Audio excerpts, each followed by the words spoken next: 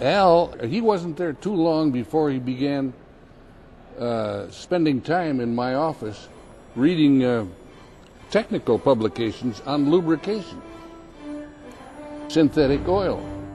And he said, all the jets in the world use this oil. I remember him saying that. I said, yeah. He said, well, wouldn't it be good in cars? I think what got Al interested in synthetic lubricants is the knowledge that that, that, that jet airplane he was flying was surviving and able to survive because synthetic lubricants were used in that engine to cool it and lubricate it. He understood and knew that a normal mineral oil would not survive that environment.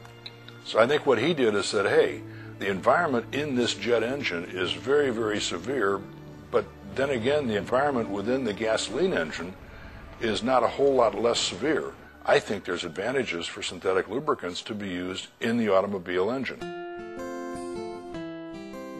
Seeds of ambition sown years earlier, glimpsed in a young boy's contemplation of cars crossing a bridge, in the goal printed in a high school yearbook, and in lessons absorbed from an enterprising businesswoman, were about to bear fruit.